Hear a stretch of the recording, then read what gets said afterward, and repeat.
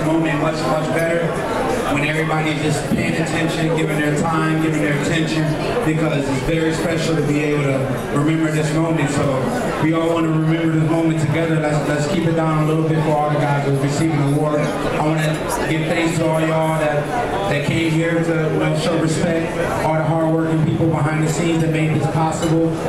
I want to, you know, shout out Melvina and Lathan an awesome commission and all the people that's working with her. It's just a powerful thing to be able to get this many people in the room and represent the sport that I'm so proudly fight for. I work very hard to be where I'm at. As you know, I'm the WBO, WBO middleweight champion of the world. I'm 30 and 0 with 22 knockouts. And if we don't keep it down a little bit, I'm going to have many more knockouts for tonight.